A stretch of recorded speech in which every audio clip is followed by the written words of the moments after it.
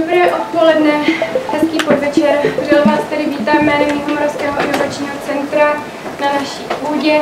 Moje jméno je Terezie Kavcová a tady za celý víc vás tímto zdravím. Nebudu nic prodlužovat, rovnou předám slovo Miloši Lokajíčkovi, který se uh, představí samozřejmě sám. Uh, jenom abych avizovala dopředu, v případě, že se vám tady nebude dát dýchat, tak klidně uh, mávejte něco, uděláme s tím, co to jenom půjde. A zároveň bych vás po, po skončení chtěla pozvat na náš skromný uh, catering, kde se můžete těšit na víno a nějaké menší občerstvení, takže už nikam neutíkejte a po zasloužené přednášce si pak můžete jít občerstvit. Tímto teda předávám slovo a přeji příjemnou zábavu. Dobrý večer. Pro ty, co zrovna přicházíte, tady jsou ještě dvě místa, kdybyste nechtěli stát celou dobu. Za nás tak budu zábavný, takže se aspoň. Uh, já jsem byl pozvaný, abych tady mluvil o projektovém řízení ve startupech. A ještě než začneme, tak nejdřív vám chci všem vlastně jako částečně pogratulovat, že jste sem přišli, protože vidět, že jako něco chcete dělat. Uh, já jsem se jako onehdá potkával s kamarádama ze, ze střední a z vejšky a ty lidi, co pracují v těch korporátech, jsou takový nejenom jako zpomalenější, jaký ty hyperaktivní lidi, co jako dělali spoustu věcí, jsou jako, takový spožněnější, zpomalenější. A vlastně každý jeden dělá něco ve svém volném čase navíc, tak je podle mě jakoby na nejlepší cestě dělat jakoby něco zajímavějšího, než jenom sedět třeba v bance nebo někde. Já ne, ne že bych banky měl rád, ale občas se budu opakovat, tomu. Abych se teda představil, uh, jmenuji se Miloš Okejček, jsem absolventem Vysoké školy ekonomické v Praze, fakulty informatiky a statistiky. Během školy jsem byl relativně aktivní, zakládal jsem nějaké různé spolky a organizace na VŠE, mimo jiné i Unii studentů na VŠE. Aktuálně jsem CDO ve společnosti Sweetest a členem advisory boardu Prague Startup Centrum, to je ten oproti tam nahoře to Prague Startup Centrum. Uh, oko v IT jsem, můj první počas měl v roce 92, takže je to hodně víc než plus 10. Okolo projektového řízení jsem zhruba 8-9 let, okolo startupů zhruba 4-5 let. No, ten slide už se kopíru dobu. Na začátek by mě strašně zajímalo, kdo jste vy. Uh, mohl by si mi prosím přihlásit, přihlásit lidi, co jsou pracující? OK. Uh, studenti z toho IT obory. OK. Uh, teď k tomu projektovému řízení, že máme své projektovém řízení, abych rád dělal jako jak jste na tom seznalost s projektovým řízení. Kdo tu nemá žádnou praxi s projektovým řízením? OK. Dobře. Do dvou let? OK, super, tak jo. Já jsem se totiž hrozně bál, že tady budou sedět sami seniorní projektoví manažeři a budou mě chytat za každý slovíčko a já se tady budu kroutit takhle. A na dva roky předpokládám zbytek a to je těch pár. Takže pro ty z vás, kteří jste v projektovém uh, řízení díl, tak některé věci budete trošku nadhledem. Případně budu komentovat, že se třeba neschodnu s lidmi z projektové komory na některých věcech, co říkám. Uh, a ty, co pracují, ještě jeden dotaz. Kdo je ve startupech? OK. Kdo je ve velkých nadnárodních korporacích? OK. Já nevím, jak, jak moc si můžu dovolit tady něco říkat. Uh, protože už tady vlastně ještě pracujete, tak uh, tenhle ten slide je trošku veličavý, tak možná, že jo, to neznamená, že můžete změnit práci. Podle mě je dneska hrozně důležitý si uvědomit, co vlastně člověk jako chce dělat. Ne, aby jako zaplatil ty své jakoby, účty, co mu chodí a hospodě, aby měl jako, jak zaplatit jako, ale člověk by si měl jako rozmyslet, co a proč chce dělat. Tohle měl být pokus o nějakého maska nebo něco jako technického. Člověk může dělat spoustu zajímavých věcí. Já jsem z rodiny jaderných fyziků, žili jsme v CERNu nějakou dobu, když jsem byl malý, takže mám jako na svět takový jako různorodý pohled, sám podnik, jsem, jsem podnikal jako jsem na startupech. Takže dá se dělat jako spousta věcí. Člověk může dělat rukama, nohama, hlavou, může i dělat hlavou a zároveň rukama. Prostě dá se dělat spousta věcí. Největší podle mě problém je, ať už si vyberete cokoliv, že byste neměli skončit takhle. Je vlastně úplně jedno, co děláte, jestli jste podnikatelé, zaměstnanci, ve startupech, korporaci, kdekoliv, ale tohle, tohle je špatně. Ať děláte cokoliv a končíte takhle, jak je to špatně. To, jak byste měli vypadat, je prostě, tohle je trošku přehraný, ale takhle nějak byste jako měli svým způsobem jako vypadat. Protože uh, ta práce je sice fajn, ale nejen prací všechny člověk. Takže z mého pohledu je dobrý vybrat si něco, co bude zajímavý třeba i za pět let, až ta robotizace, automatizace přijde, za deset, až, až ta revoluce jako opravdu proběhne a těch 50 až 70 lidí přijde o tu práci, tak dělat něco, co ještě furt má tu hlavu a třeba ještě být u toho takhle šťastný, tak ideální, super příklad. Uh, protože už tady vlastně spousta lidí má zkušenosti, tak tohle jenom prolítnu. Uh, já díky tomu, spíš vám řeknu jakoby ten můj pohled na to, co tady píšu. Uh, mě strašně pomohlo, že jsem během studií byl v různých studentských spolcích a byl jsem zapojený do různých prostě neziskových, no, nejen neziskových, ale prostě nějakých různých organizací typu projektová komora, PMI chapter a další, další organizace. Protože se potkáváte s dalšíma lidma a ty vám nějakým způsobem pomáhají utvořit si pohled na svět, pohled na nějaký daný profesní obory a další věci. Až na to, že jsem ten Kindle ztratil jako ve státech, tak se snažím číst aspoň 6 knih měsíčně. Různýho, různýho prostě druhu. Nejen prostě o startupech, ale o tom, jak být eh, stále jako v mantře a být jako pořád a nic mi nevadí. Ale snažím se číst občas fyziku, občas chemii, občas prostě nějaké podnikatelské věci, něco o Maskovi, něco o někom jiným. Vlastně snažím se číst něco, co mě bude posouvat dál, hlavně jako ideálně crossfield. Není to jenom prostě o, o tom, že si jsem skvělý v databázích a umřu nad databázema. Jako lze, pochopitelně, i jako když je člověk specialista, si může super vydělávat. A třeba Musk eh, se o něm říká, nebo on to píše ve své biografii, že byl schopen za den přečíst až dvě knihy a četl úplně jako odleva doprava.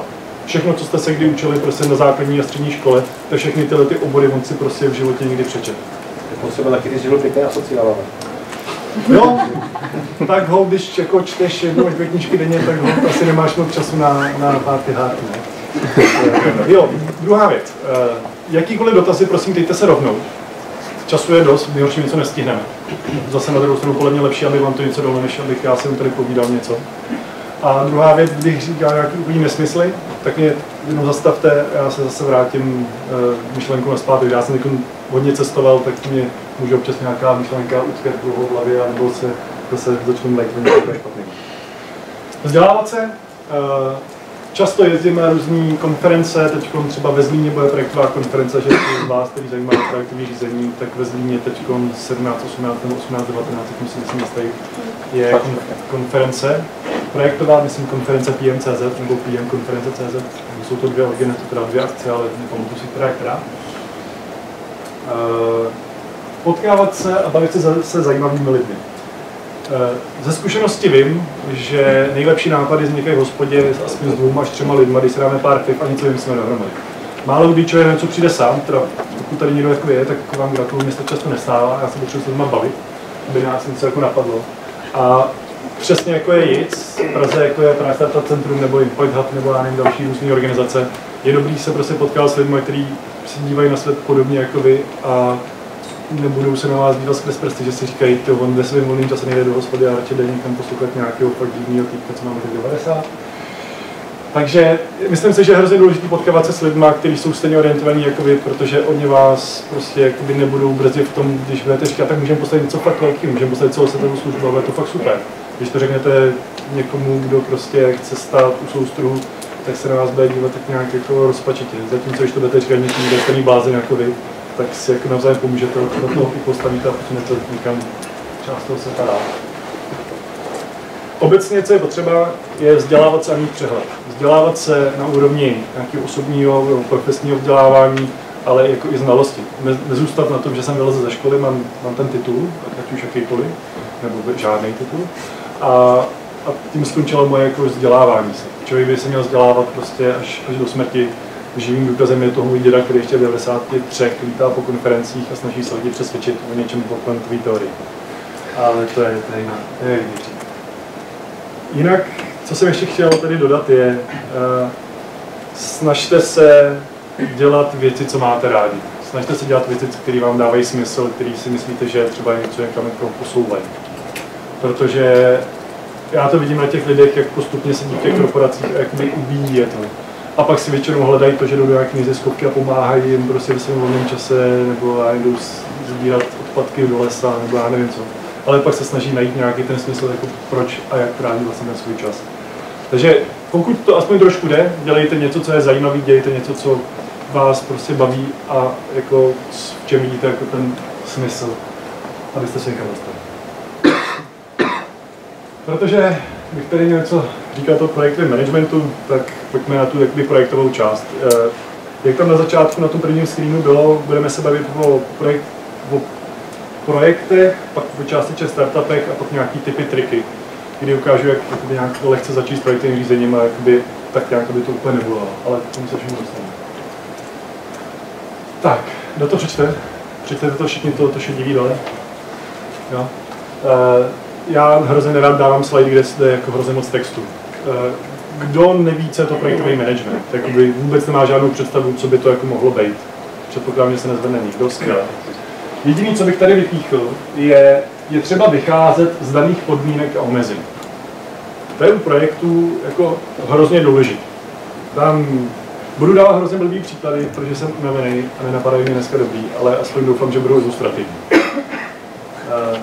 Pokud nám Eh, minister obrany zadá, že bychom měli mít jako letadlovou loď a že na ní máme rozpočet třeba jako milion, tak my jsme jako projektáci měli říct jako halt, za A nemáme moře, kam bychom ji teda jako spustili, to je první fail, a druhý, těch peněz je málo. Jo, je potřeba si uvědomovat, že projekty, jaký, jaký, jakýkoliv projekty, co vás napadnou, se dějí v rámci typicky nějaké organizace, která má nějaký svůj život, která nějak funguje a ten projekt není od toho, aby všechno změnil a zrevolucionizoval a prostě najednou všechno bylo jinak. Nebo vlastně ne vždycky, občas se to takové projekty dělou. Ale většinou je potřeba vycházet z toho, že jsou nějaký omezení. Ať už na lidi, na peníze, na čas, nebo nějaký prostě deadliny, něco. No, prostě je potřeba vnímat celý ten projekt v tom komplexu toho, kde se pohybujete. Není to tak, že jste projekták, dostanete projekt na starost a teď jako to je váš projekt jako svým způsobem je to váš projekt, ale ten projekt vám někdo zadal a někdo vám ho financuje. Jeho to je projekt. No, není to tak jako váš projekt, ale je to jeho projekt. S jeho očekáváníma, s jeho vizí, s jeho budgetem, s jeho prostě změnou nálad, že to vlastně bude zelený a ne růžový, nebo já nevím. No, ale prostě je potřeba si uvědomit, že projektový manažer není ten, kdo to jako rozhoduje. Projektový manažer je ten, kdo ty věci posouvá, aby se staly. To je, to je podle mě jakoby častý jako mis, misunderstanding prostě v tom, co ten projekt jak jako vlastně je. Jo. Základní je projektového řízení, si připadá ve škole. Uh, já, já, to nebudu číst, jo? já nikdy nebo nebudu se držet těch slajdů, jenom to je takový, aby když se to doma otevřete, aby vám třeba jako něco naskočilo. Eh, je to nějaká činnost, typicky omezená, protože cokoliv, co se repetuje, by neměl být projekt, ale to nějaký jako opakující se proces. Je to nějaký, nějaká činnost, která má bod A, bod B, nebo A až Z, třeba, to je jedno. Časově A až Z, má to nějaký budget a má to nějaký očekávaný, má to nějaký očekávaný vstupy a má to nějaký očekávaný výstup. Uh, ideální je, plácnu, když půjdem, eh, jako projekt se dá vnímat strašně moc věcí. Stavba domů, eh, dítě, od toho, že ho vytvoříte, až po to, že ho z, z domova vykopnete v těch 18 let, kde někam studovat.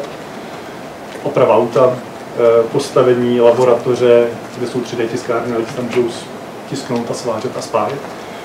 Postavit nic. Jo, všechno, vše, spousta věcí se dá, na všechno se dá v podstatě dívat projektově. Můj švagr se dříva dívá projektově na dovolenou No, má tam inicializaci, kdy s mojí ségrou, manželkou se domlouvají, jako co mu projde a co mu neprojde, kam můžou jet nebo ne. Pak se nečem shodnou, mají nějaký plánování. Jo. To jsou ty čtyři, čtyři základní fáze.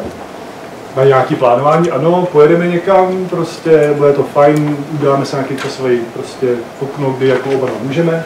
Pak je tam nějaká realizace, která začíná od koupení letenek, zabukování hotelu, pak tam teda jako dojet, povinně si to užít, až po to, že eh, je tam fáze vyhodnocení, že ten projekt nekončí samotnou realizací, ale většinou tam ještě nějaká fáze vyhodnocení, která nám říká, to je taky to learning. Už nikdy nepojedeme v červnu do Španělska, protože tam chcípneme vedrem a nikdo z nás nemá rád Jo, tak to je taková jako, takový to vyhodnocení, takže když pojedeme znovu do Španělska, tak už září nebo prostě v nebo někdy později.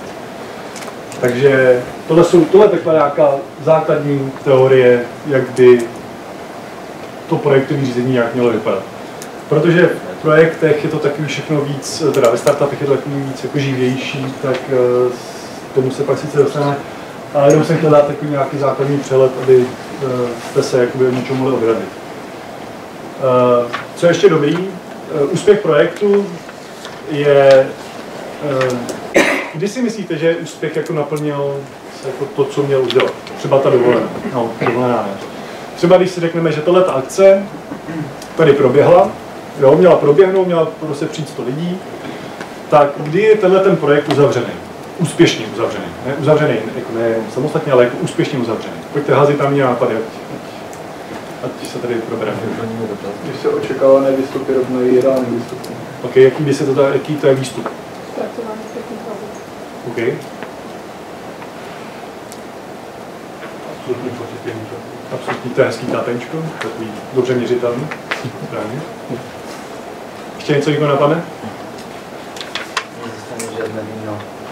Nezůstane žádné víno? Jinak slyšíte mě vzadu? Jo, že? Já, já budu. Uh, víno nezůstane? Ještě nějaký nápad? Vyplnění zpětné vazby? Vyplnění zpětné vazby? Jakože se vyplní někdo aspoň. Jasně polovičně.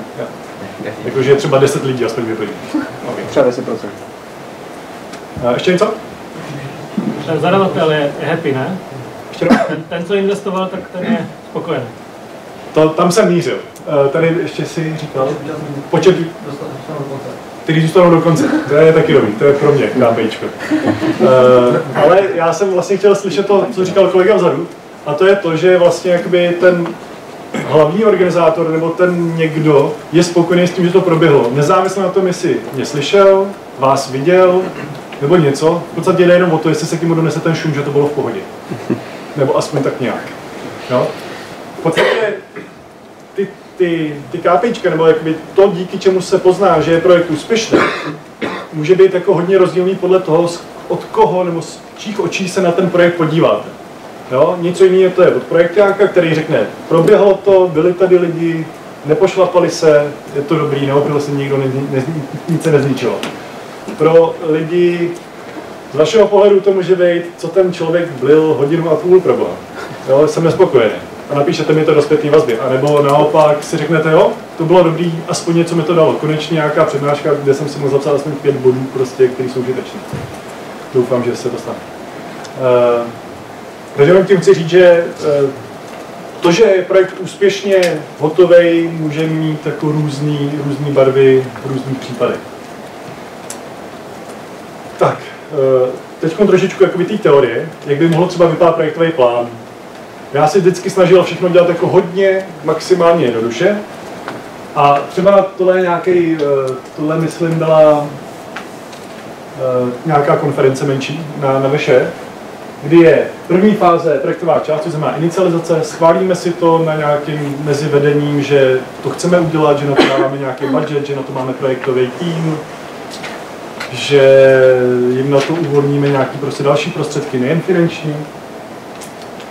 Druhá fáze, už je nějaký plánování, potom, co tohle proběhne, tak se začne plánovat, kdy to bude, kde to bude, eh, jestli je vůbec o to zájem, jo, udělá se nějaký průzkum mezi studentama, jestli je jako třeba o to zájem.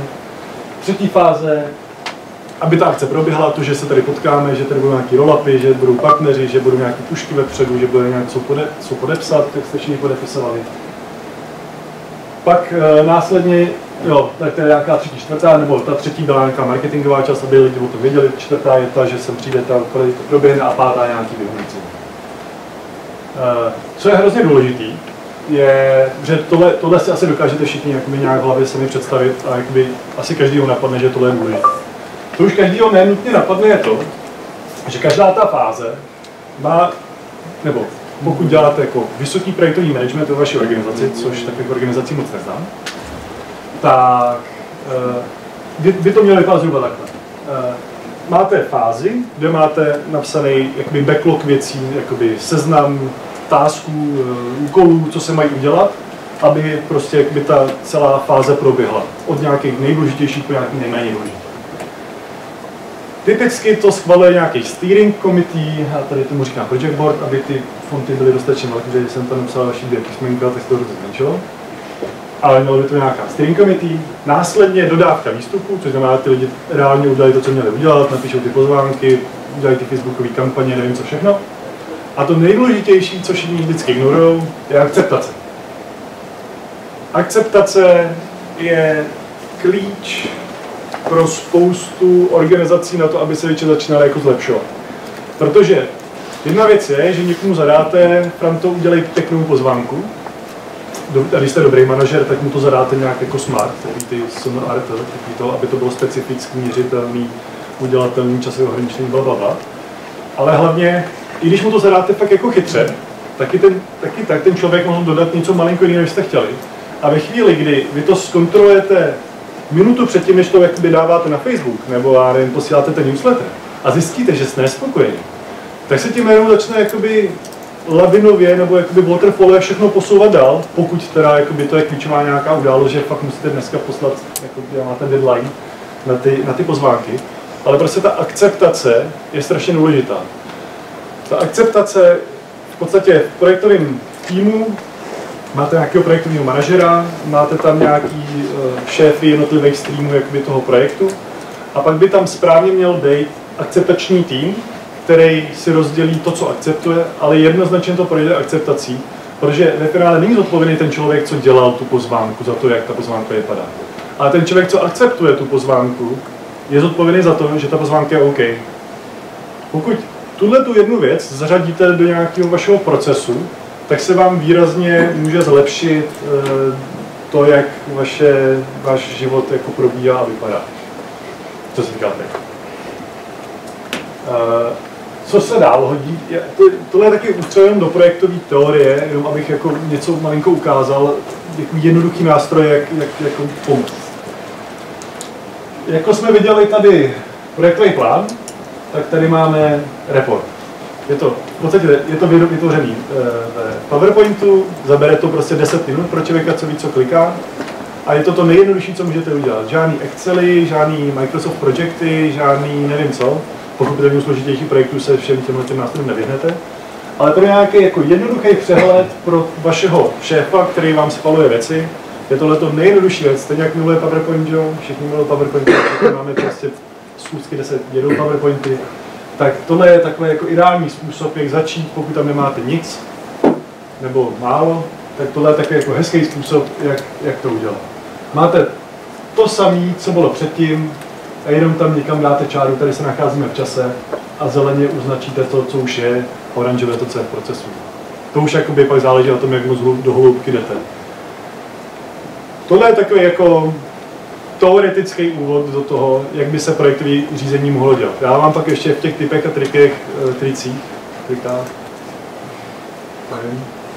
tips and tricks, vám eh, řeknu nějaký nástroj, který my používáme a který, se, který vám můžou pomoct jako výrazně, výrazně víc jakoby s tím procesováním těch tásků. Tohle jsou takový víc, jako, jak se to reportuje nejvyššímu vedení, pokud sami vy nejste nejvyšší vedení. Eh, na chvilku k profilu projektáka, sice, sice už tady většina lidí jako má nějakou zkušenost, ale občas bych řekl, že je dobrý si to projít znova. Profil projektáka by měl podle mě vypadat tak, že ten člověk má především selský rozum. Prostě pokud mám přesunout, pokud mám projekt na přesunutí tohle papíru odsaď sem, eh, kdo nevidí, tak prostě zleva doprava na stole, tak asi nebudu zvát jeřa asi nebudu prostě bukovat 10 lidí, s kterými dáme poradu, jestli to prostě má být vodorovně nebo svisle přenesený, nebo já nevím co. A prostě ten selský rozum je podle mě u projektáka jedna z nejdůležitějších věcí. Druhá velice důležitá věc je, aby ten projekták porozuměl, jako o co jde, komu tím prospěje a která strana s tou bude mít radost. No? prostě očekávání zákazníka, nebo prostě očekávání jako takový, jak už je to zákazník, projektový tým, váš nadřízený, dodavatelská firma, nebo firma, který dodáváte. Očekávání je to nejhorší a nejlepší, co vás může potkat. Nejhorší ve chvíli, kdy to neřídíte, nejlepší, když to řídíte a ještě tomu rozumíte. Projekták já tam mám pak taky hezký, hezký obrázek, myslím, že Startup Jobs nebo někde, kde je po projektu nějaký těch kouzelný věci.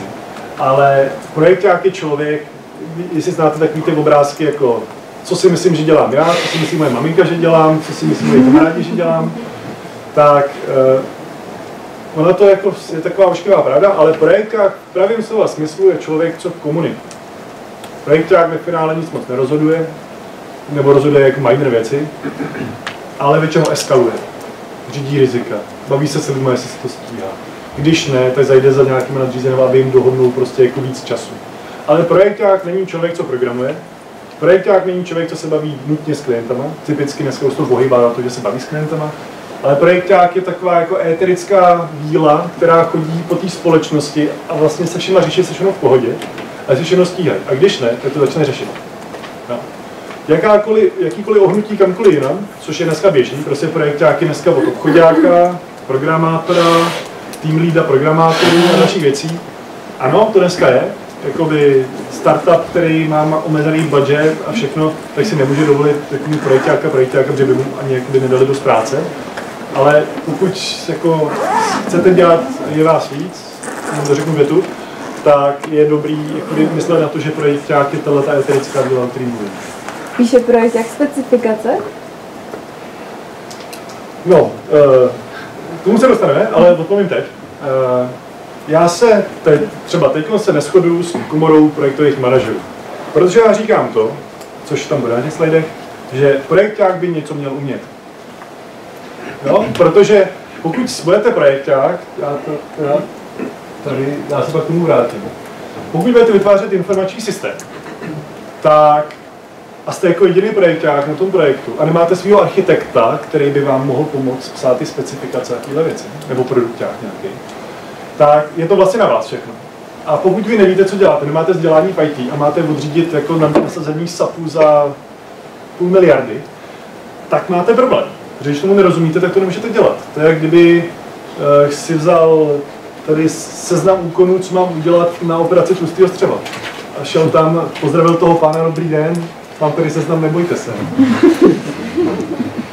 Na druhé straně, jako, nebo počet operačních sálů, jo, stavíme nemocnici, tak kolik máme udělat operačních sálů projektáků, ty, ty vám to spočítáš. Jo.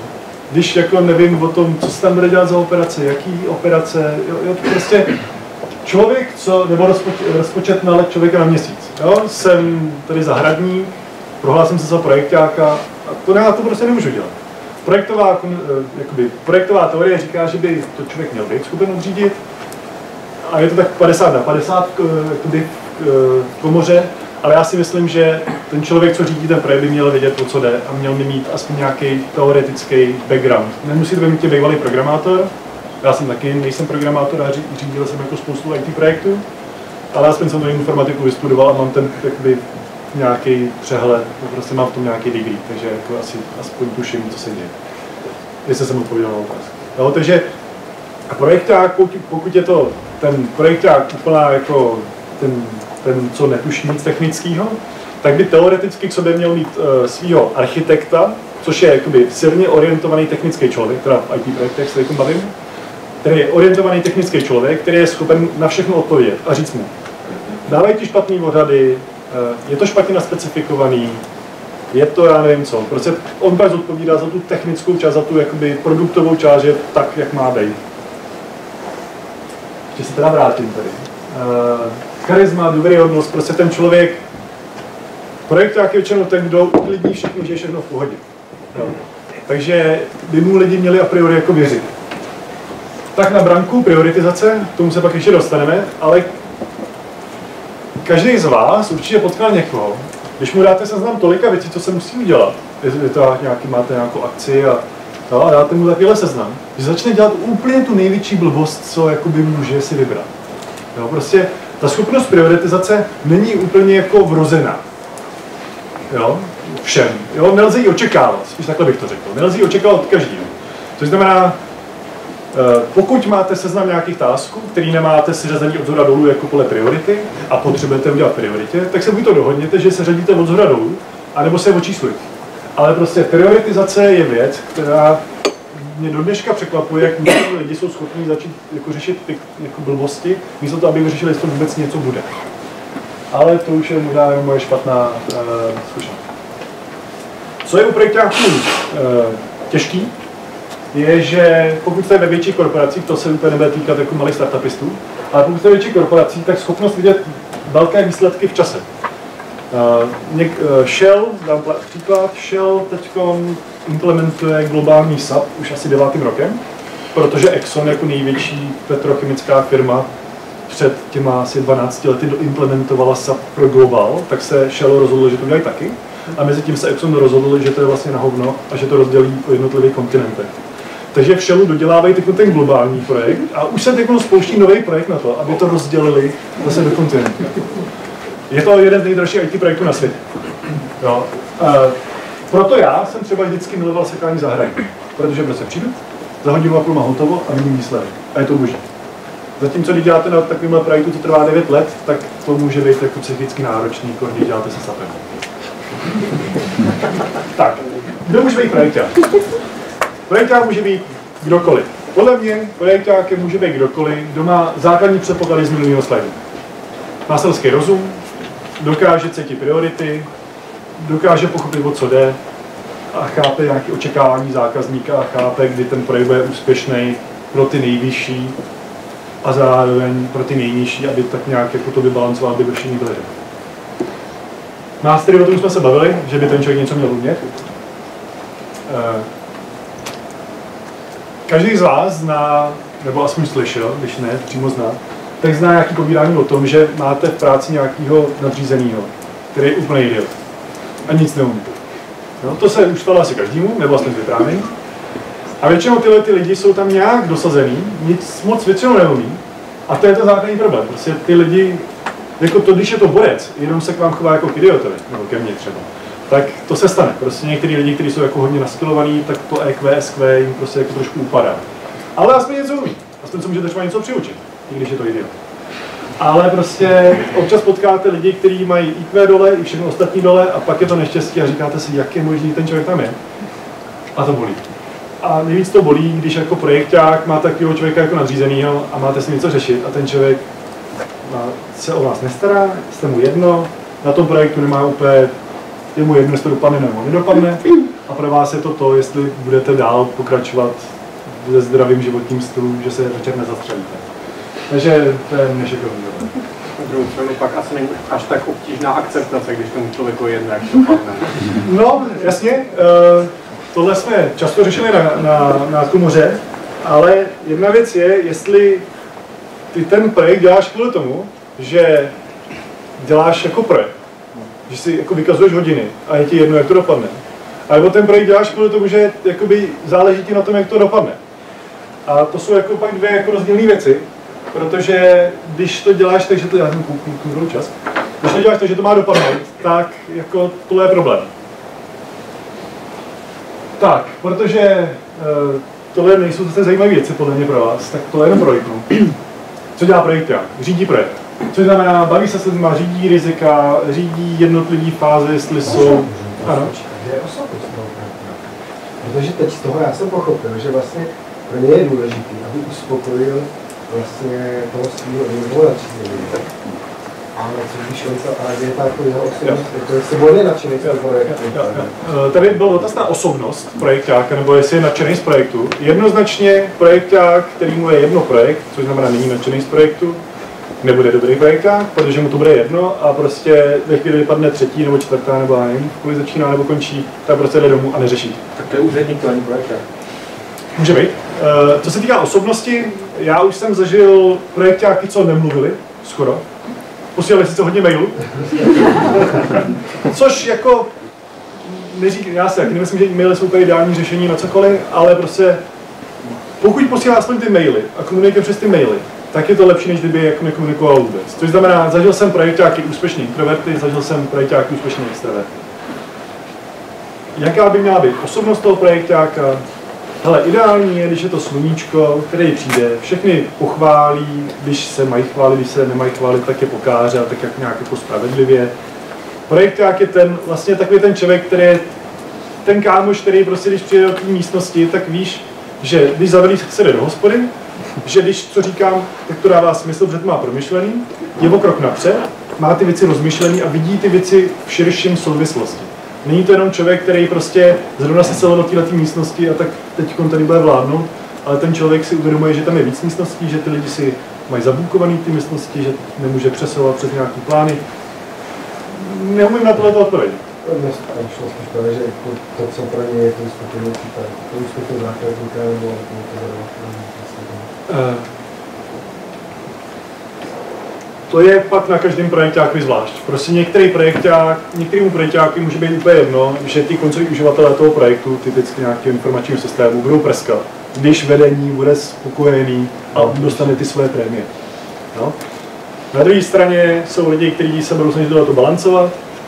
A třetí varianta je, že se půjde jenom po koncácích a vůbec se neřeší management, jenomže pak se stane to, že eh, se třeba celý ten projekt zavře a vlastně se nikomu nepomůže. Takže jakoby, to pravidlo je, musíš uspokojit zadavatele nebo jakoby, ty šéfy, ty, ty, co zadávají to, že se ten projekt stane, a pokud možno co nejvíc uspokojit ty lidi, který to spadne. Jinak to jako nejde. No, ale to, to, to uspokojit šéfy je nutný, to je podmínka nutná, nikoli dostačující, a to dole už je super, když to dopadne dobře. Uh, baví se se všema okolo sebe, víte, co jsou to stakeholdři? Kdo, ví, ne, kdo neví, co je to stakeholder? Super. Stakeholder je kdokoliv, kdo je nějakým způsobem zapojený do projektu. Což znamená například implementace informačního systému, už dneska oblíbená. Stakeholder je ten poslední uživatel, co to bude používat. Jo, to CRM nebo ten nějaký dokument management systém nebo něco. Stakeholder je ten, na kterýho ten projekt má dopad, ačkoliv třeba ten projekt nemůže ovlivnit. No? Takže to je ten důvod, že se bavíme nejen s těma šéfama všema hrozně důležitýma a programátorama, kteří to dělají, ale zároveň se snažíme brát nějakou zpětnou vazbu od těch lidí, kteří to pak ve finále budou používat, protože ve finále kvůli ním se dělá ten projekt, ne kvůli šéf. Nebo někteří šéfové si pak očkrtnou, že vůči svým mateřské firmě udělali to, co jim zadali a jsou happy, to, že se pak nepoužívá je. Eh, Třeba jeden nejmenovaný řetězec naimplementoval poměrně jako drahou, eh, drahý software na předávání si informací mezi SAPama, že SAPy nejsou úplně kompatibilní by default. A do dneška tenhle ten jeden okolní řetězec použí posílanému kamarádovi, co vyrábí květináče lopaty a takové nesmysly, tedy v Čechách kousek na severovoce, tak mu to všechno posílají faxem, paní to píše rukou. Ačkoliv neimplementovali prostě software za nevím, 40 milionů. Takže to, že se něco neimplementuje, ještě nutně neznamená, že se to bude používat. No, to je. Eh, Rozumí, rozumí cíle, bla, bla, bla, všechny táhne jiným směrem a je o krok napřed. Projekták typicky se pozná tak, že už má rozmyšlený, jak z té hospody pojede domů. Jestli pojede na kole, jestli pojede taxíkem, nebo něco. Prostě to je ten, vždycky, to je ten člověk, který má všechno vymyšlené dopředu. Jo, je, co budete snídat. No, projektáci se typicky, já třeba si ráno večer říkám, co budu snídat. Abych ráno už na tím nemusel přemýšlet a jenom to vyexekuoval. No, ale to už je asi vlastně moje, problém. Tak, uh, teď nějaký srovnání klasických korporace startupy. Uh, oboje má své plusy a mínusy a je to můj, můj pohled. Není to žádný jako něco, nějaká publikace, o kterou by se opírali, to vyloží můj pohled a můžeme to pak diskutovat. Obrovská výhoda klasické korporace je v tom, že má vyspělý procesy, Sice to někdy může znamenat, že s jedním papírem musíte oběhnout 15 lidí, aby vám dali razítko na to, že potřebujete nakoupit toaletní papír, ale vlastně jsou tam jasně daný a víte, za kým máte jít. Je tam jasný plán, co se bude dít, jaký produkty se budou lančovat, že ty produkty už ty lidi chtějí a už to má nějakou hlavu a patu a někam se jde. To, že věc je druhá, že i velký giganti můžou zbankrotovat, se může stát, když mají tu pětiletku příliš jako dlouhou, třeba na 15 let a ono mezi tím se celý ten změní. A mají většinou pevně danou metodiku.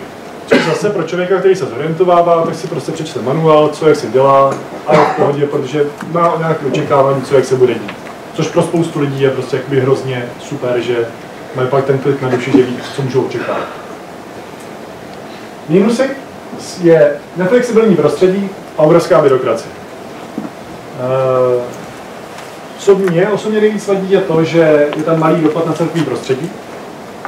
Prostě když já přijdu s něčím, proč se to dělá takhle, když by se to dalo dělat v podstatě zadarmo jinak a líp, tak je hrozný problém to zaimplementovat a to mě osobně třeba jako hrozně vadí. A chybí tam nějaký ten důvod. Chybí tam nějaký, jakoby, nějaký to, změníme svět, vy- vylečíme rakovinu, nebo změníme způsob cestování, nebo budeme lítat do vesmíru, bude to hrozně cool a tak. Takže to jsou takový jako z mýho pohledu. Co je na startupech super?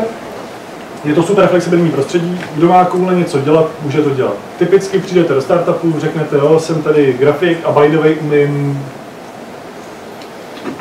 marketing, umím marketing, umím sociální sítě. Tak prostě nikdo vám neřekne, nesmíš to dělat. Prostě, když to půjde, bude to fungovat, prostě tak vás ty lidi nechají to dělat. Což znamená, že si během krátké chvíle můžete šáhnout na spoustu věcí a můžete jakoby výrazně rychleji růst. Eh, Má to nějaký klíčový dopad na celou firmu, pokud jste v nějakém startupu, který není... Jo, to, to byl jen dotaz, který jsem tam někde ztratil a možná ještě přijde. Ale to nevadí. Uh, co je podle vás startup? Sorry, že zkostím. Co je podle vás startup? Tak firma, která chce jako hodně růst. Chci hodně růst, takže když budu mít uh, autoservis a budu hodně rychle růst, protože budu mít otvírat další autoservisy, Spíš firma s nějakou novou myšlenkou. Si problémy, které zatím nejsou řešené, způsob nějaké nové myšlenky. OK, Liftago, asi znáte předtím, nebo Uber, je to revoluční myšlenka? Takže takové, které tady nejsou, méně typické, pokud budou další automička nebo další taxislužba, tak třeba když ten, ta první, tu přišla jako na trh auto, dejme tomu ještě, když bude v nějaké třeba fázi růstu, tak se člověk nějaké dejme tomu. Já si jenom, sorry, že jsem takhle jako by, souhlas. No. Já nevím, co je to startup. Já jako jsem viděl milion definic a pro mě je startup něco jakoby typicky technologického, digitálního, co se dá škálovat jenom tím, že si na Amazonu nakoupím víc serverů. To je, to je pro mě jako startup. Pochopitelně startup může být i Musk se svým SpaceXem a se svým prostě lit, litágem. Uh, autíčka Tesla. No prostě, co je startup dneska? Jo, Jenom to, že jenom když jako jenom chci říct, že co je to startup teda, když se tady bavíme o korporaci versus startup. Jenomže vlastně jakoby můj pohled na věc je víc jako technologický, digitální, aby si paní Nino neříkala, to je idiot, to je úplně nesmysl. Jenom se hájím dopředu. Ale to úplně přece nemusí být technologický, ne? Přesně, nemusím. Protože třeba já chci založit kamarovní zoo, jo. to úplně moc technický není, jo. No jasně. No, a, a to je ono, ale jakoby, no, k tomu se ještě dostaneme, ale tam mám ještě jako malou definici. Eh, V čem je problém u startupu je, dokonce na to tady patří nějaký dotaz, tady jsem dostal nějaké otázky od vás, tak tady na to jeden z dotazů je. Jak, jak nenásilně trans, transformovat startupový punk na kreativní organizovanou společnost? K tomu se to asi dostane. Ale je to brutální punk. Prostě startup je punk. Prostě startup může fungovat jenom díky tomu, že tam je tým, který se navzájem doplňuje a každý si uvědomuje, že má za něco zodpovědnost a, všechno, a všichni to posouvají jakoby stejným směrem. Ale pokud budete mít prostě pět obchodníků v jednom startupu technologickým, datovým třeba, a nikdo to nenaprogramuje, tak oni to všechno prodají, ale nic nedodají. No, takže jako je dobrý, aby e, v tom punku se našel aspoň nějaký přirozený řád. Pokud tam není, a, nebo všichni znáte Kiwi, Kiwi začínalo e, s, že jo, před pár lety s pár lidma, pak jich najednou bylo 30, tam se začali uvědomovat, že by aspoň měli nějak jako monitorovat tásky a takhle, dneska jich je prostě 600, 700. A začínají jako zjišťovat to, že už nejsou startup, nebo jako mají nálepku startup, ale už vlastně potřebují nějaký zkušený manažery, který jim tam nastaví ty procesy a ty, ten systém toho, jak by to jako mělo celý fungovat. Už to prostě nejde dělat jenom tak halabala, prostě už těch lidí je moc.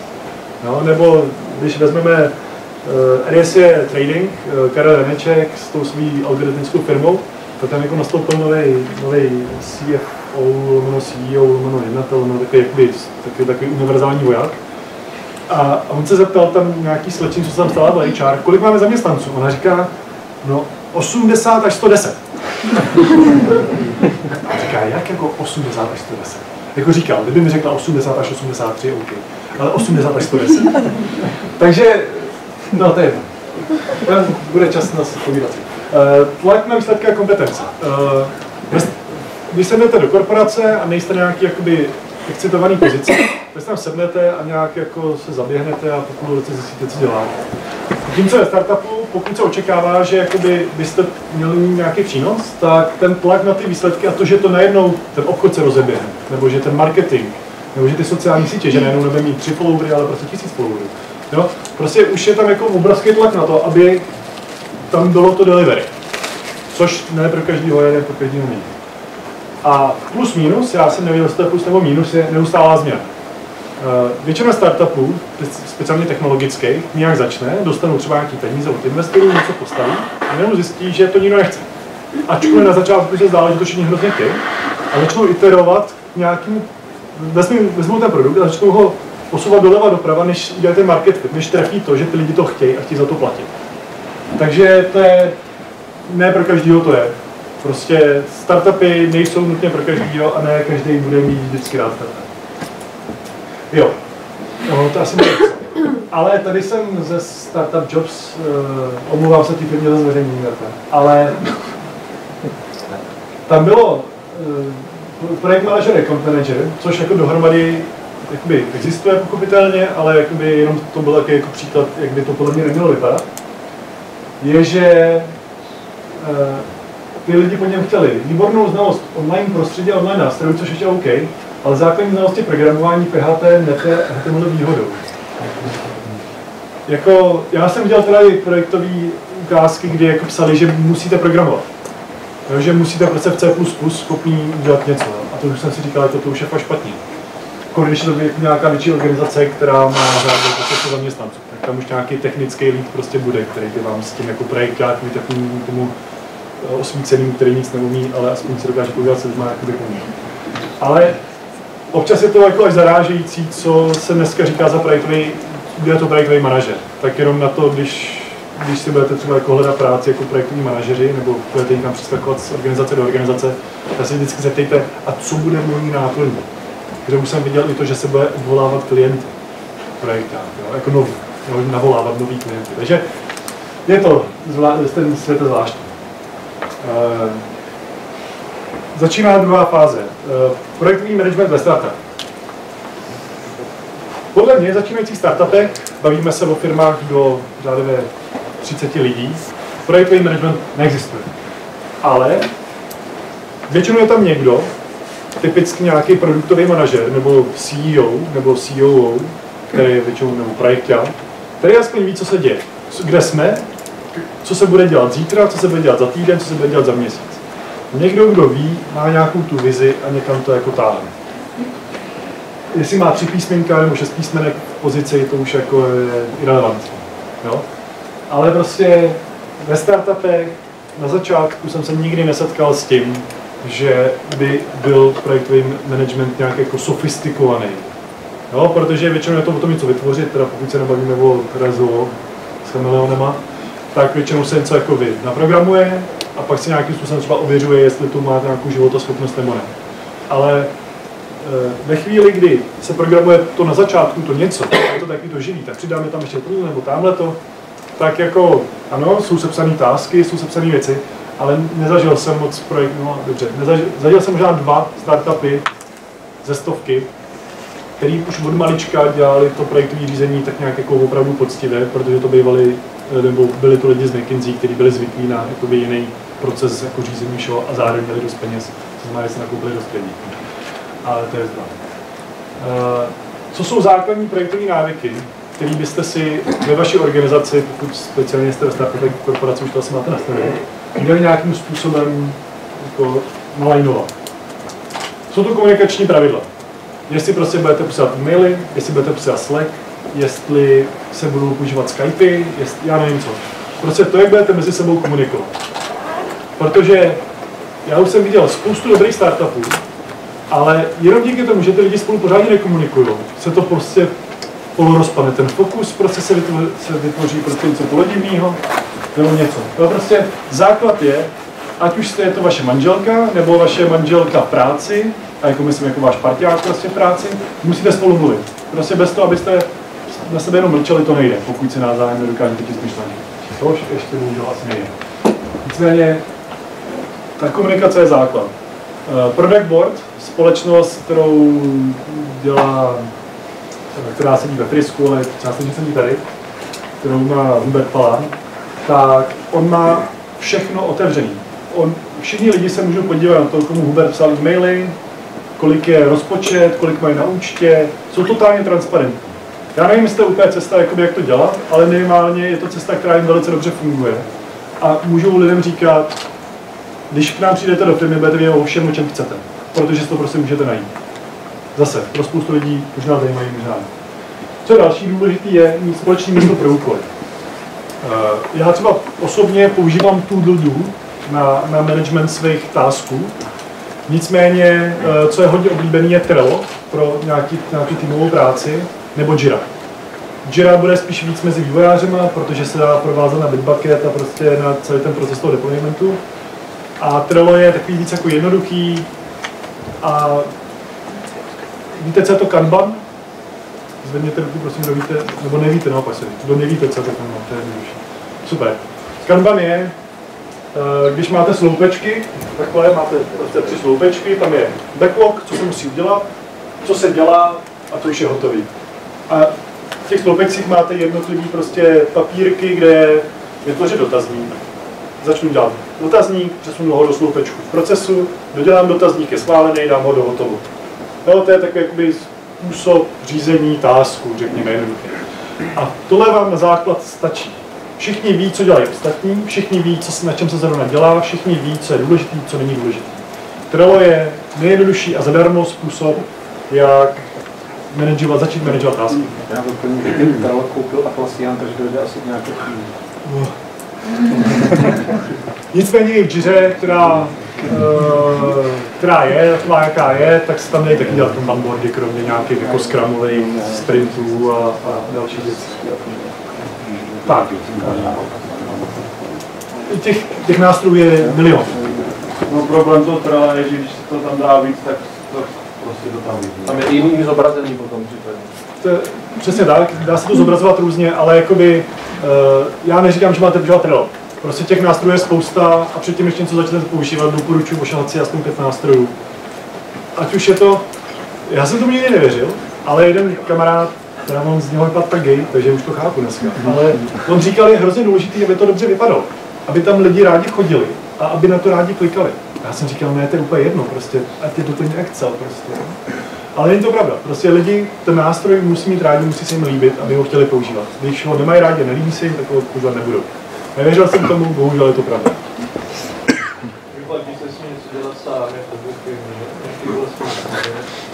Uh, ano i ne. Uh, jako ve chvíli, kdy máš nějaký super unikátní proces, který, na který prostě nemůžeš najít nástroj, který by ti jakoby pomohl. A to, že budeš používat ten svůj nástroj, ti ušetří nebo vydělá nebo něco, nějak to dopusu nebo do mínusu ti pomůže, nebo jako ubere ti náklady nebo ti zvýší zisky, tak si ho postavte. Ale prostě podle mě lepší žít s neduhem nějakého softwaru onlineového a vědět o tom, že tam nějaký neduch je a používat ho. Aspoň za začátku. A pak třeba, když už budete mít dost peněz, tak si můžete postavit, co chcete. Ano, spousta firm si pak ve finále něco jako postaví, ale na to není univerzální. jak ta firma se prostě vyvíjí, tak třeba nás něco napadne, co by si hodilo do programu. Hele, je to jen o tom. Buď, to, buď seš tak bohatý, že můžeš svoje programátory používat na věci, co nevydělávají, a můžeš si to dovolit, a je to super. A nebo seš, prostě máš jenom programátory na to, aby ti vytvořili to něco, co potřebuješ vytvořit, a pak si to nemůžeš dovolit. Je to o zdrojích. Jo, jsi projekták. Vteřinku? Jsi projekták. Prostě ty, ty řešíš to, jestli ten zdroj aktuálně použiješ na to, nebo na něco jiného. Protože, pardon, protože když ho použiješ na něco, tak ho nemůžeš použít na něco jiného takže se to něco jiného posouvá v čase. Jo, takže je to jenom o prioritizace. Můžeš si dovolit to sprioritizovat, abyste si postavili své řešení, udělej to. Nemůžeš, neudělej to. Takže není, není jednoznačné odpovědi. Nebo kdybych měl nějakou chytrou poučku, řeknu mi rád, neumím. Ne, nevyplatí. Ze zkušenosti vím, že jakoby nevyplatí a až většinou velké firmy, které jakoby dojdou někam nebo mají nějaký specifický problém, tak to začnou řešit. Ale ne ve fázi, kdy hledají market fit a chtějí vydělávat peníze. Ve chvíli, když už vydělávají a už to nějak jako jede, tak proč ne? Tam už se pak může dělat nějaký fine tuning. Ale ve chvíli, kdy máš zdroje na to, že pokryješ aby ti ty tři měsíce ty programátoři tam seděli, a aby si něco vyvinul, aby si mohl začít prodávat, tak si nemůžeš dovolit využívat jejich čas na takovouhle blbost. No, promiň, jakože na, na věc, která ti nevydělá nebo neudělá ten produkt. Já doplním, že na tuhle věc eh, můžou splnit hodně testů, třeba otevřený software a tak dále. Tady není. Ano, může. Nemusí. Může to být ještě větší pain, než když jsi něco napsal sám. Záleží. Vždycky záleží prostě na tom jednotlivém use caseu. Uh, co je hrozně důležitý, je chápat to, že se musí eskalovat. Prostě, ať už je to vývojář, ať už je to uh, projekták, ať už je to vlastně kdokoliv kromě CEO, a respektive CEO může eskalovat na svého investora. Jo? Ale prostě je potřeba chápat, že se dá eskalovat. Ty lidi se nesmí bát říct, že je někdy nějaký problém. Protože pokud se problém tutlá, tak se z problému z malého hovínka na malý velký hovínko a je z toho velký problém. A to je prostě špatně. Prostě eskalovat se musí hned, jakmile problém vyskočí, hned se musí eskalovat. Protože je to nejlevnější ho opravit. Čím díl se bude tutlat, tím dražší bude to dát do pořádku. Schvalování výstupu, to jsme se bavili. A jasně, to mám u nás firmy, tuhle tu poslední myšlenku. Uh, jasně rozdělené pravomoce, pozice a jejich respektování. Což znamená, pokud někdo CEO, tak je CEO a má poslední slovo. OK, možná to Jo, občas. Ale prostě CEO má poslední slovo. Jo?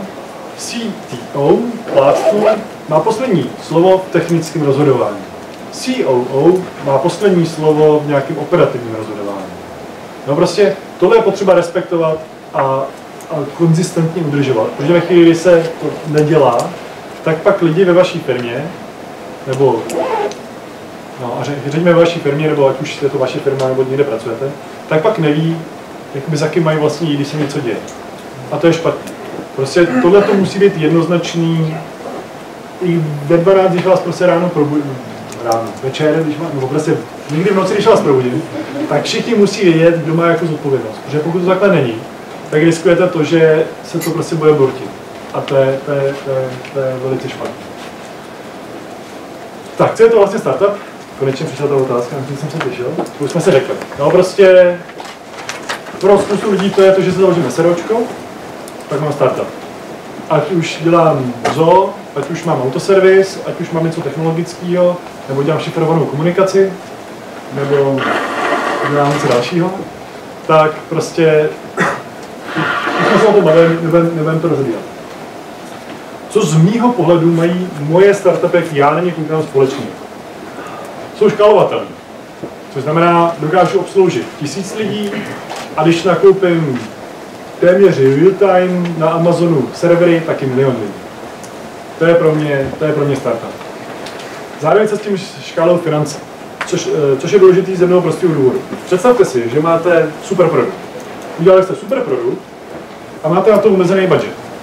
A jako váš úkol, v podstatě jakoby člověka, co chce udělat nějaký dobro, vydělat peníze, vytvořit, udělat nějaký prostě skvělou firmu nebo skvělý produkt je, že ten produkt chcete dostat mezi co nejvíc lidí v co nejkratším čase, protože když vás okupují všichni Číňani, Indové a nevím, kdo vás všechno okupíruje. A váš problém je, pokud neuděláte jednu důležitou věc, a to je to, že si ženete peníze.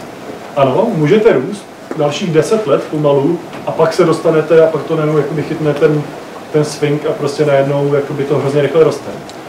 Ale mezi tím už vás někdo skopíruje a předběhne. Co je hrozně důležité, je oprostit se o to, že je to můj startup a jako moje firma, můj nápad a moje všechno. Ale potřeba o těch věcech se bavit. Schánět na to peníze, abyste co nejrychleji mohli vyrůst, protože ten růst stojí spoustu peněz. Ať už to budou reklamy, ať už to budou lidi, ať už to bude prostě produkce, ať už to znamená něco vyrábět, nebo to znamená něco jako programovat. Prostě musíte v tom dnešním světě, ten, ten svět se strašně jako zrychlil a, a prostě dneska se dají, vy si dneska můžete nahajrovat tým jako už lidí, kde je UXař, programátoři, další lidi, kterým dáte zadání produktu a oni vám ho prostě za tři týdny udělají nějaký prototyp. To je jako služba. No, jako si prostě uděláte Ibro odsaď domů, tak máte jako službu, že máte takovýhle tým. Jo, není to zadarmo, ale prostě jde to. To znamená, pokud máte dobrý nápad a, jako máte, a ty lidi ho chtějí, je tam market fit. Jo, prostě víte, že to lidi kupují, jenom se potřebujete jako vyrůst, abyste to prodali někde někomu. Tak pro boha, nebojte se někomu prodat 10, 15, 20, 30, 40% vaší firmy. Sežeňte peníze a vyroste rychle. Protože ono to jako může znamenat, že když to neuděláte, tak jako skončíte a nic nikomu nebudete prodávat, protože vás prostě nepředběhne. Tak, to je zase něco z domova. Tak, uh, ideální je, když řeší reálný problém. Už jsme se na tom shodli s někým, už jako nepamatuju, do, do který někde ty části říkal. Ideální je, když startup řeší nějaký problém, co lidi mají, o kterým ideálně vědí. Pochopitelně některé startupy, jako některým jako lidem řekli, o tom ještě nevíte, ale je to váš problém a občas se to chytlo, občas ne. No, ale ideální je, když je to řešení problémů, které už lidi znají. A co je nejdůležitější, lidi jsou za to ochotní zaplatit. Jako Apple, nebo například Microsoft, kdyby Gates čekal, až udělá geniální operační systém, tak nikdy žádný nevydal. No, nikdy ho nezačal prodávat. No, prostě vždycky to bude mít nějaký mout. Na druhé straně, iPhone není nejlepší telefon na trhu. Prostě není nejsilnější, nemá nejvíc aplikací, nemá nejčeho, jako čistě parametricky. No. Ale prostě dokázali ho prodat. A za neskutečný peníze. Neskutečný peníze. Na to, že výrobní cena iPhoneu je 200 dolarů, prodávají ho za 1500, ten nejvyšší model. Wow, prostě jako jsou dobrý. Takže lidi za to musí být ochotní zaplatit. Můžete udělat super produkt, který ale když ho nekoupí, tak je trošku zbytečný. Rychlost rozhodování. Je kolikrát je lepší udělat jako špatný rozhodnutí rychle, než s nějakým rozhodnutím otále a možná za měsíc udělat polodobrý. Možná i dobrý. To je lepší udělat to rozhodnutí špatný rychle, zjistit, že je špatný a udělat dobrý. Ale to protahování těch rozhodnutí zase může být stejně jako s těma financema velice jako bolestí do budoucna. Startupy jsou obecně jedna z málo prostředí, hnedka po škole, což se ale jako často neuvědomují, kde, se, kde vás jakoby, to prostředí by vás mělo nechat jako failovat, aniž by to jako nějak výrazně bolelo. No, ve škole si můžete dovolit failovat, ve škole si můžete dělat chyby, že byste se z nich měli jako poučit, hypoteticky. Ne vždycky se to jako podaří. Ale hypoteticky byste se měli dělat chybu, ono vám to řekne, wow, jsem idiot, už to neudělám znova. Jo? A když tohleto ve firmách se prostě táhne některé rozhodování, tak je to zase špatně. A je prostě dobrý udělat to rozhodnutí radši rychle a špatný, než prostě měsíc, v řádu měsíců neudělat žádný nebo tak nějak jako nějak. To je pro legraci. Já jsem se koukal na firmy, které jsou největší na světě eh, podle revenue. A je to nějaká zvyky. Neověřoval jsem to, kdyby mě někdo chtěl tady nějaký datový specialista nebo ekonom hanit, tak rovnou otevřeně říkám, vzal jsem zvyky, vzal jsem tabulku, neměl jsem čas, jenom jsem to jako chtěl jako zkouknout. Mezi prvníma 14 je pět startupů. Je to přepočtený revenue za, na, na jednoho zaměstnance. Takže v Uberu mají revenue 3 miliony dolarů na jednu jejich zaměstnance. Ročně. Což je docela a jediný jakoby, zajímavý, kdo tam ještě byl, protože jinak to byly samý farmafirmy anebo finančníci, tak byl Shell, který má velký revenue poměrně s málo lidmi. Ale zase u nich se, pak, když se podíváte pak do, do nějakých jako hospodářských zpráv, tak zjistíte, že oni si spoustu lidí hajru a kontraktu a ty toho nepočítají, takže ono by jim to spadlo. Ale to je zajímavější. Je tohle. Uh, nejvíc nejcennější uh, firmy světa, Fortune 500, amerických teda, tak je Apple, jakože Google, Microsoft, Facebook, Exxon, ale teď na The Economist, jestli čtete, tak byl článek o tom, že je pět prvních nejhodnotějších firm, jsou všechny datový. No, všechno prostě nějaký startupy nebo bývalý startupy typu Microsoft. No, prostě firmy, co nějaký jako začal. Což je velice zajímavý, protože jako, kde jsou všechny ty IBMky, kde jsou všechny Walmarty, které zaměstnávají 2,5 milionu lidí, kde jsou všechny ty obrovské firmy, které tady jako byly ty králové historie. Jo? Ta, ta, změna se stala hrozně rychle. Teď, jako ta změna je tady jako kolik? Jak, jak, kdy byl založený Google? 2003? 2? 98. 5? OK, jo. To je jako, teď Google je 12 let. Jak je možný, že jako je numero, numero 2? To je prostě neskutečný. Takže Tím chci jenom říct, že proč mě fascinují startupy? Protože normální člověk může, ano, firm nebo lidí, co chtěli udělat novou sociální síť, bylo vlastně 100 tisíc. Řádově jsem viděl nějaké číslo. Uspěli dvě, tři. No. Takže je jasný, jako, že je těžký uspět, ale jako jde to.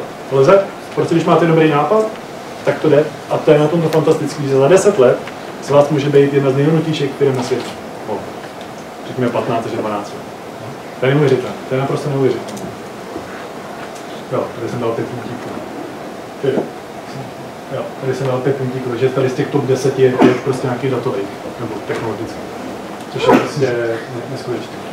No, Johnson Johnson není jenom farma, oni vyrábí spoustu dalších věcí, General Electric, zase finance, tohle jsou zase, tohle, je, tohle je hrozná, v podstatě díky tomuhle byla 2008 finanční krize, tohle ta firma je velice zajímavá, třeba doporučuji vygooglovat. Pojďme dál. Uh, Delta is the new oil, to je, to je ta narážka na, na to The Economist. Tohle jenom přeskočím, jsem chtěl sem dát, abyste si dohledali, až si stanete tu prezentaci, budete chtít. Jak je to možné? Jak je to možné, že ty, ty firmy vyrostou takhle hrozně jako rychle a takhle jakoby neskutečně? Podle mě je to neskutečná síla a odvaha a jako vytrvalost jednotlivců. A nebo jako Musk taky není sám, sice to je ten Magor, co pracuje 16 hodin denně, ale prostě jakoby zase má za sebou nějaký tým lidí, který... Gates je sice nejznámější jméno, nebo Larry Page z Google, jsou vždycky nejznámější jméno, ale zase nikdy neuspěli sám, sami, vždycky je tam nějaká parta.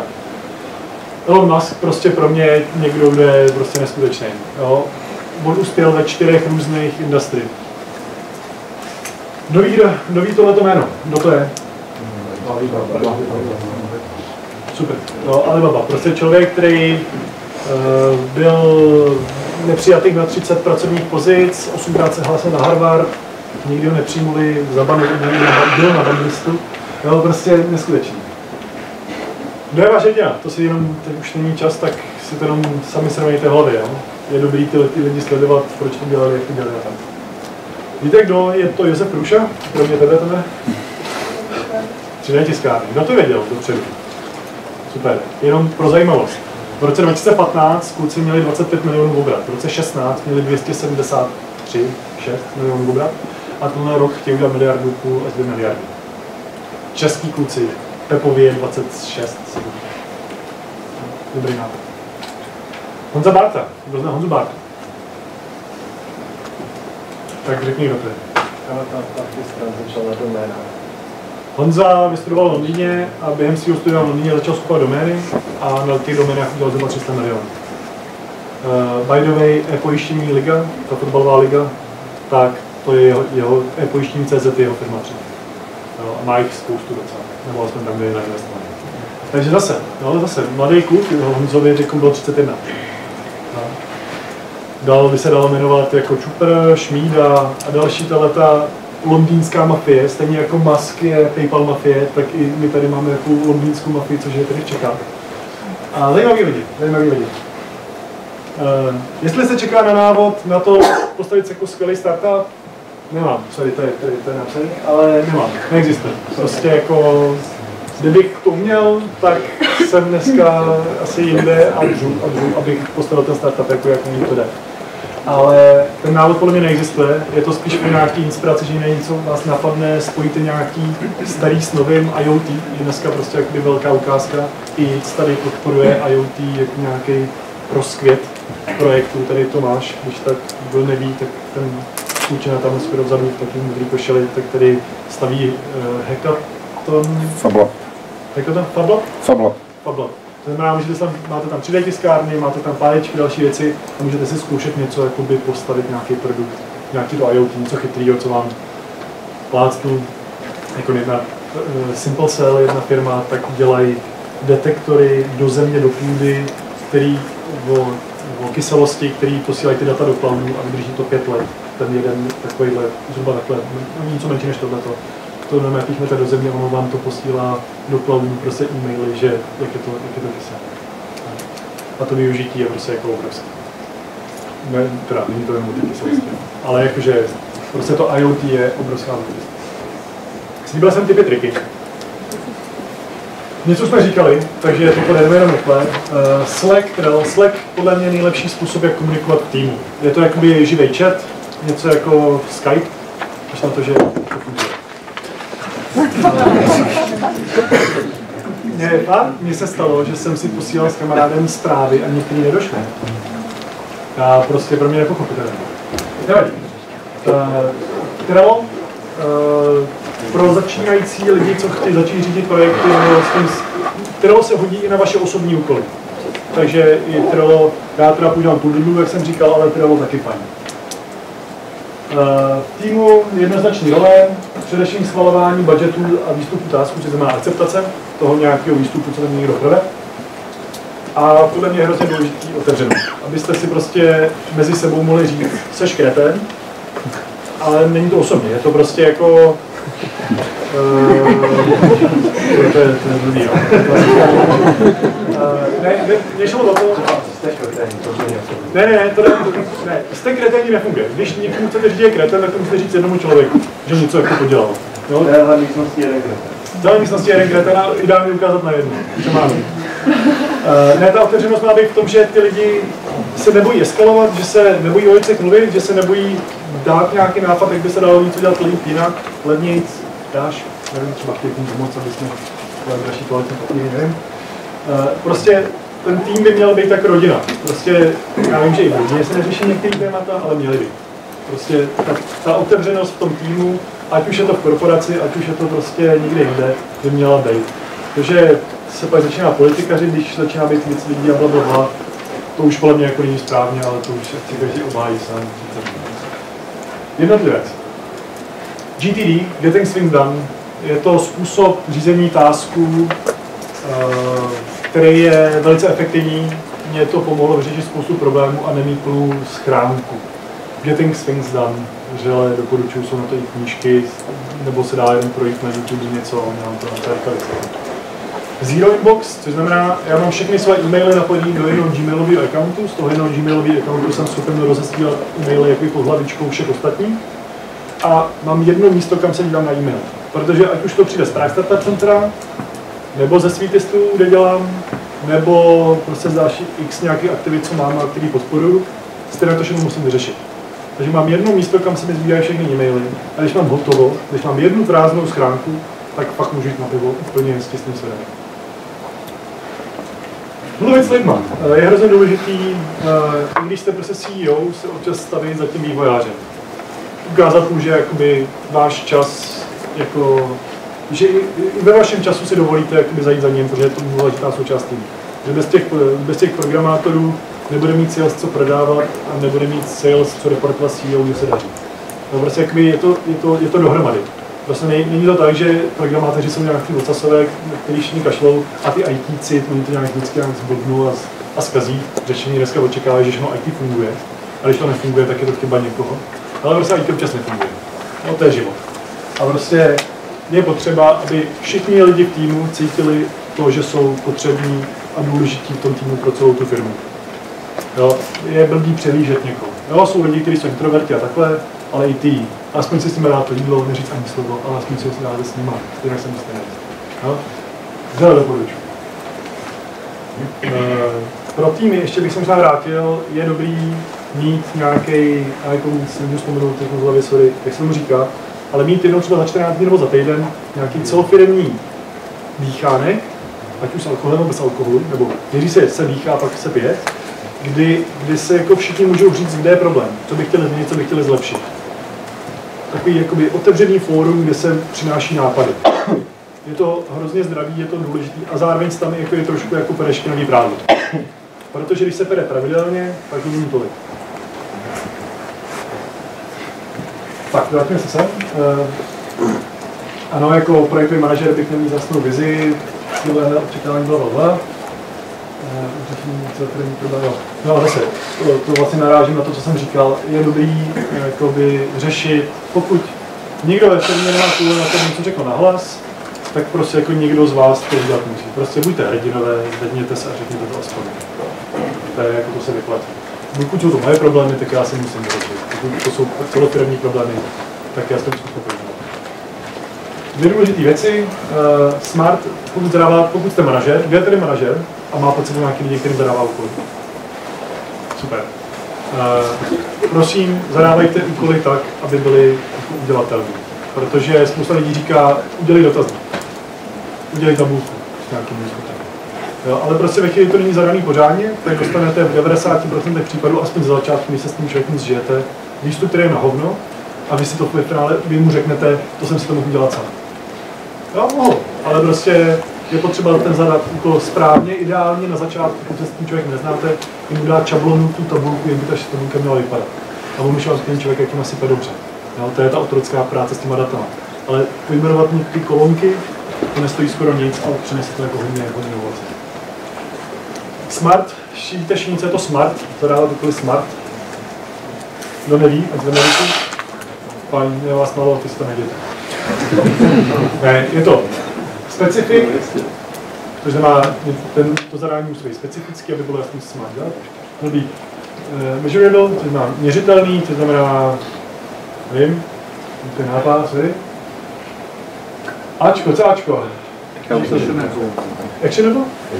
Actionable, že by mělo být dosáhnutelný, ano? Uh,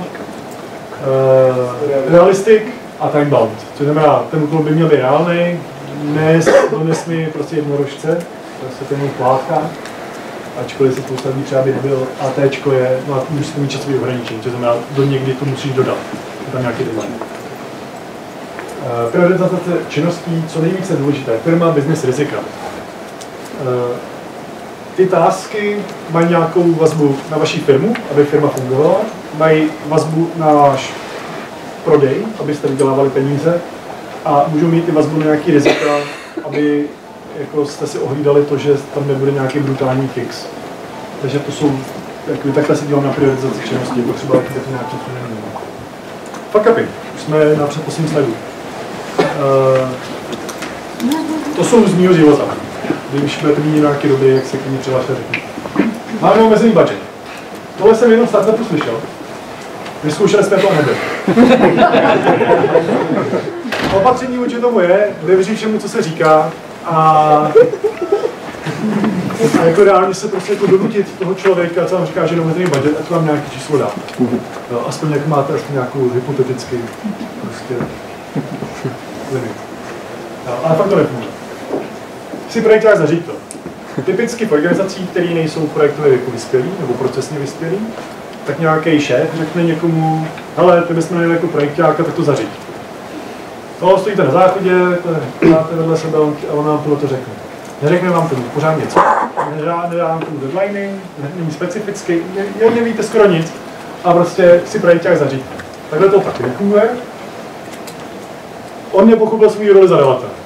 On by prostě měl ten úkol zadat smart, a ještě další prostě náležitosti, abych věděl, s kým to mám řešit, s kým to nemám řešit, bla, bla, bla. No, prostě, pokud se vám tohle stává, tak za tím člověkem, co vám tohle dělá, dojděte a řekněte mu, takhle se úkol nezadávají.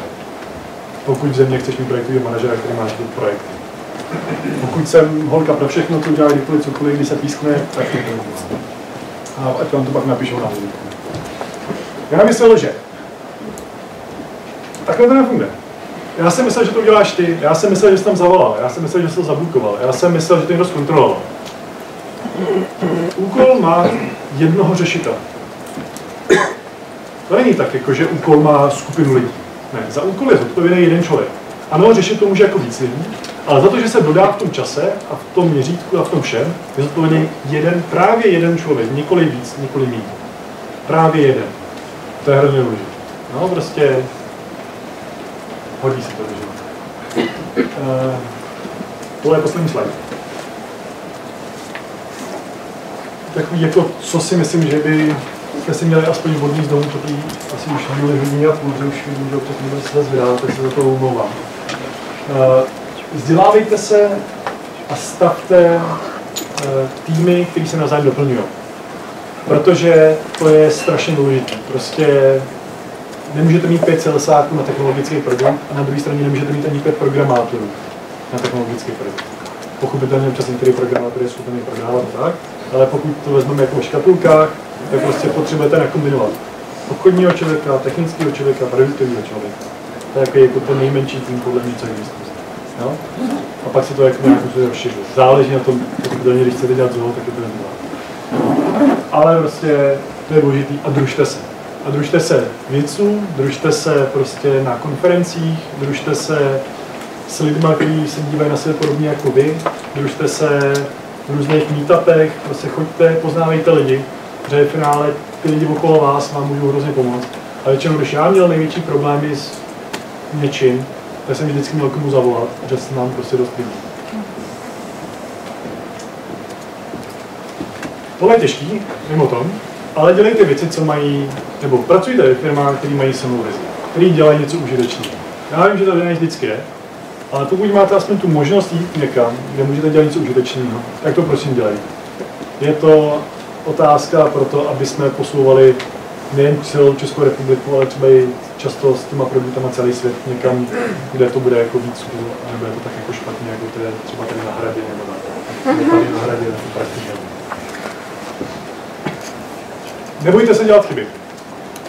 Uh, nebojte se dělat chyby, protože tím, že uděláte chybu, se něco naučíte. Prostě žádný učený z nebe nespad a prostě musíte ty věci zkoušet. Uh, Teďka mi to vypadalo. Kdo vynalezl žárovku? Petr? Edison. Edison měl 150 pokusů na žárovku, než vymyslel žárovku. Než, měl nápad, že udělá žárovku a 150krát filmnul. No? A pokud se z toho něco naučil. No? Dělejte chyby. Já neříkám, abyste dělali jenom chyby. Pochopitelně musíte dělat něco, jako, má nějaký přínos. Ale jakoby, nebojte se dělat nové věci, nebojte se zkoušet, protože jenom tak, jako můžete uspět. Když já příklad z biznesu, Zomky, asi znáte, Zomky.cz, tak oni než dopilotovali minulý rok v listopadu do té stránky zrovna co měli, tak měli 46 různých layoutů. Oni prostě jako iterovali, než někam došli. A iterou podle mě dodnes. Ale prostě je to normální. Prostě zkoušejte, když to nebude fungovat, tak se rozhodnete líp.